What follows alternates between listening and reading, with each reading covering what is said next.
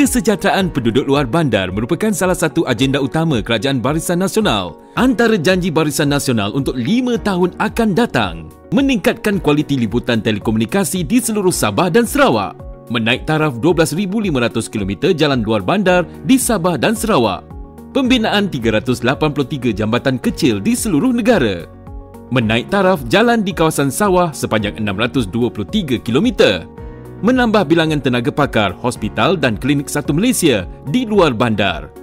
Golongan petani, nelayan dan pekebun kecil akan terus dibantu dan dilindungi dengan inisiatif berikut. Menaikkan harga pengaktifan insentif pengeluaran getah atau IPG. Meningkatkan bantuan musim tengkujuh untuk pekebun kecil getah. Meminimalkan pembabitan orang tengah dalam hasil tani dan perikanan. Memperluas dana skim bantuan tani dan penanaman semula menaik taraf tiga kompleks Lembaga Kemajuan Ikan Malaysia LKIM.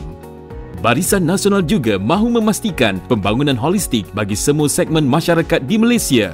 Oleh itu, penekanan juga diberikan terhadap pendidikan dan peluang bagi masyarakat luar bandar untuk meningkatkan taraf hidup dengan memperbanyakkan program literasi untuk pelajar orang asli, menaik taraf semua sekolah daif, menyediakan peluang latihan digital di Pusat Internet Satu Malaysia memperluas cabaran perniagaan luar bandar RBC.